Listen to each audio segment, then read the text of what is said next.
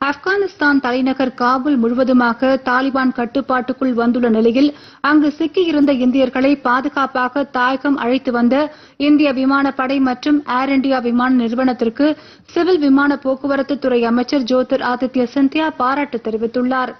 ஜபல்பூரிலிருந்து புதுதில்லிக்கு விமான சேவையை தொடங்கி வைக்கும் நிகழ்ச்சியில் காணொலி காட்சி வாயிலாக உரையாற்றிய அமைச்சர் இந்தியர்களை மீட்பதில் விமானப்படையினர் மற்றும் ஏர் இண்டியா விமான நிறுவனம் துரிதமாக செயல்பட்டது என்று கூறினார்.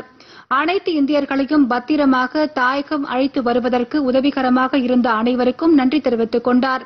கொரோனா காலத்தில் வந்தே பாரத் திட்டத்தின் கீழ் எழுபத்தி ஒரு லட்சம் இந்தியர்கள் பாதுகாப்பாக தாயகம் அழைத்து வரப்பட்டுள்ளதாகவும் ஐம்பத்தி ஐந்து லட்சம் வெளிநாட்டவர் அவர்களது சொந்த நாட்டிற்கு அனுப்பி வைக்கப்பட்டதாகவும் தெரிவித்தாா்